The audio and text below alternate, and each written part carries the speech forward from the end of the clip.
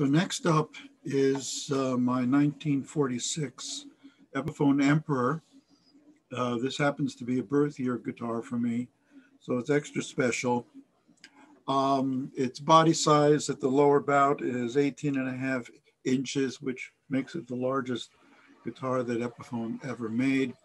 Has a body depth of um, three and a quarter, a scale length of 25 and a half, and a nut size of one and 11 sixteenths.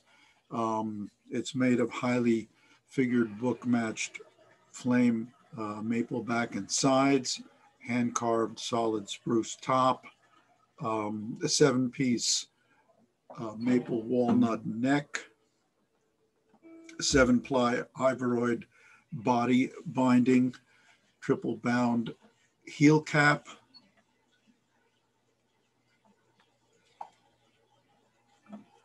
um, and neck binding. F holes and headstock are also uh, triple bound and uh, has a solidly solid ebony fingerboard with um, split block mother of pearl and abalone inlay. Um, of course, prefiguring the um, use of this design in Guild guitars um, has its original adjustable rosewood bridge, um, also a truss rod at the fingerboard uh, extension. It has a, uh, everything is original on this guitar except for the pick guard, which is um, uh, period correct. Uh, it has all gold uh, plated um, hardware and the original gold Frequensator uh, tailpiece over here and has original gold Epsilon logo 16 by 1 um, tuners. And uh, the glory of the Epiphone line, this is the Emperor, the largest and most costly instrument produced in the New York factory. Um, Okay, I'm going to give it um, uh, a run for you to see how it sounds. Has a beautiful uh, tree of life insignia on the top here in um, mother of pearl and abalone inlays.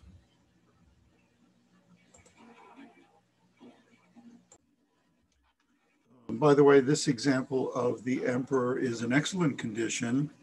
Uh, there are no cracks. Um, there is no, uh, there are no really major nicks in it either. Um, and the Adirondack um, spruce carved book match top is in excellent condition and beautiful, uh, as is the side and back, which are in maple. And uh, as you can see, it's a beautiful tie hiker striped um, uh, maple.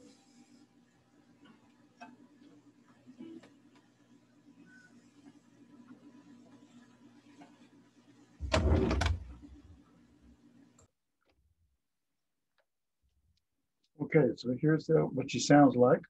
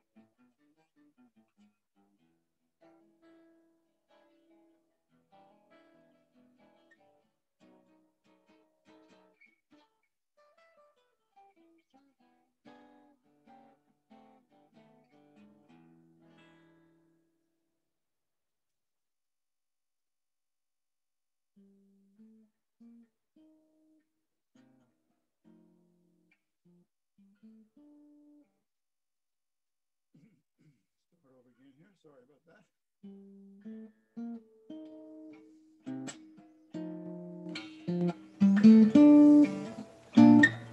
that.